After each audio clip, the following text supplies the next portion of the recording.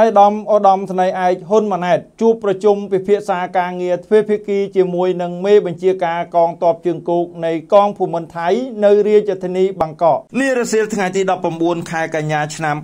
2022នៅបញ្ជាការដ្ឋានកងទ័ពជើងគោកនៃកងភូមិន្ទថៃឯកឧត្តមឧត្តមស្នេហ៍ឯកហ៊ុនម៉ាណែតអគ្គមេបញ្ជាការរងនៃកងយុទ្ធពលខេមរៈភូមិន្ទមេបញ្ជាការកងទ័ពជើងគោកបានជួបប្រជុំពិភាក្សាការងារទ្វេភាគីជាមួយនឹងឯកឧត្តមនាយឧត្តមស្នេហ៍ណារុងផានចិត្តកែថែមេបញ្ជាការកងទ័ពជើងគោកនៃកងភូមិន្ទថៃក្នុងឱកាសនៃដំណើរបំពេញទស្សនកិច្ចផ្លូវការលើកទី2របស់គណៈប្រតិភូជាន់ខ្ពស់កងទ័ពជើងគោកនៃកងយុទ្ធពលខេមរៈភូមិន្ទនៅព្រះរាជាណាចក្រថៃតបតាមការអញ្ជើញរបស់សមាភិមិត្តឯកឧត្តមនាយឧត្តមស្នេហ៍ណារុងផាន់ចិត្តកែថែបានសម្ដែងនៅក្តីសោមនស្សរីករាយប្រកបដោយកិត្តិយសក្នុងការទទួលស្វាគមន៍ដំណើរទស្សនកិច្ចផ្លូវការរបស់ឯកឧត្តមឧត្តមស្នេហ៍ឯកហ៊ុនម៉ាណែតនិងបានរំលឹកឡើងវិញអំពីលទ្ធផលសំខាន់សំខាន់នៃដំណើរទស្សនកិច្ចផ្លូវការរបស់រូបឯកឧត្តមផ្ទាល់នៅព្រះរាជាណាចក្រកម្ពុជាកាលពីខែកុម្ភៈឆ្នាំ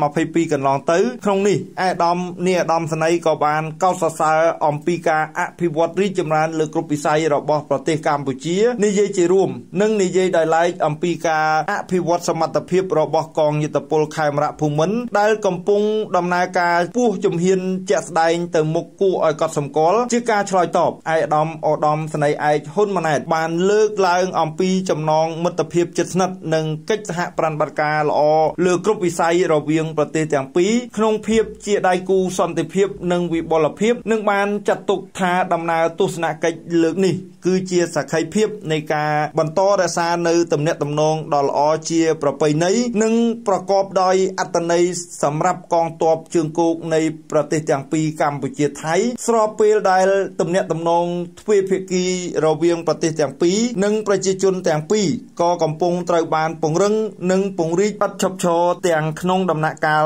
នៃការរាតត្បាតជាសកលនៃជំងឺ Covid-19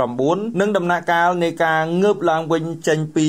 វិបត្តិនេះក្នុងជំនួបពិភាក្សាការងារទ្វេភាគីនេះសមាភិកទាំងពីរបានវាយតម្លៃខ្ពស់ចំពោះលទ្ធផលនៃកិច្ចសហប្រតិបត្តិការរវាងកងកម្លាំងនៃប្រទេសទាំងពីរក្នុងការងារទប់ស្កាត់និងបង្ក្រាបអក្រិតកម្មឆ្លងដែននានាដូចជាការកាប់ឈើខុសច្បាប់ចរាចរណ៍គ្រឿងញៀននិងការជួញដូរមនុស្សក៏ដូចជាការរក្សាបាននៅទំនាក់ទំនងការងារជាប់ជាប្រចាំរវាងថ្នាក់យុទ្ធភូមិភាគនិងកិច្ចសហការទល់រវាងអង្គភាពជួរមុខទោះបីនៅក្នុងអំឡុងពេលមានការរាតត្បាតខ្លាំងនៃជំងឺ Covid-19 ក៏ដោយសំខាន់ផងដែរនោះនៅចំពោះមុខស្ថានភាពជាយថាហេតុនិងគ្រោះមហន្តរាយផ្សេងៗកងកម្លាំងនៃប្រទេសទាំងពីរតែងបានយកចិត្តទុកដាក់សហការនិងជួយគ្នាទៅវិញទៅមកយ៉ាងសកម្មនិងប្រកបដោយការទទួលខុសត្រូវខ្ពស់មួយវិញទៀតសមាភិកីទាំងពីរក៏បានសម្ដែងនៅការពេញចិត្តចំពោះកិច្ចខិតខំប្រឹងប្រែងរួមគ្នាក្នុងការ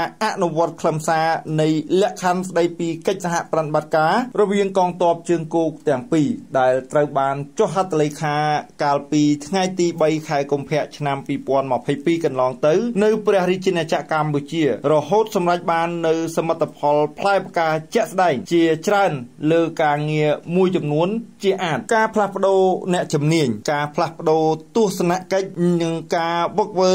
បណ្ដុះបណ្ដាលធនធានមនុស្សការលោតឆាត់មិត្តភាពនិងការរៀបចំលំហាត់វឹកវើរួមសម្រាប់ទិសដៅទៅមុខសមភាគីទាំងពីរបានបង្ហាញនៅឆន្ទៈក្នុងការបន្តថែរក្សាទំនាក់ទំនងមិត្តភាពរឹងមាំនិងសកម្មភាពកិច្ចសហប្រតិបត្តិការល្អក្នុងកម្រិតកងទ័ពជើងគោកនិងបណ្ដាលកងឯកភាពចំណុះស្របទៅតាមខ្លឹមសារនៃលក្ខខណ្ឌស្ដីពីកិច្ចសហប្រតិបត្តិការរវាងកងទ័ពជើងគោកទាំងពីរសម្ដៅធ្វើយ៉ាងណាបន្តថែរក្សាចំណងសាមគ្គីភាពមិត្តភាពរក្សាទុកចិត្តគ្នានិងសហការគ្នាឲ្យបានស្អិតរមួតបន្ថែមទៀតដែលជាមូលដ្ឋានមិនអាចខ្វះបានដើម្បីការពារនិងកសាងប្រទេសជាតិទាំងពីរឲ្យបានរីកចម្រើនរុងរឿងទាំងអស់គ្នា នៅក្រោមបន្លប់នៃសុខសន្តិភាពថេរភាពនិងវិបុលភាពរួមលោកតំណែងរបស់លោកអ្នកតាមរយៈ app ផ្សារទំនើបចំណាយត្រឹមតែ29ដុល្លារតែប៉ុណ្ណោះក្នុងមួយខែលោកអ្នកនឹងលក់ដាច់ខ្លាំងជាងមុនទ្វេ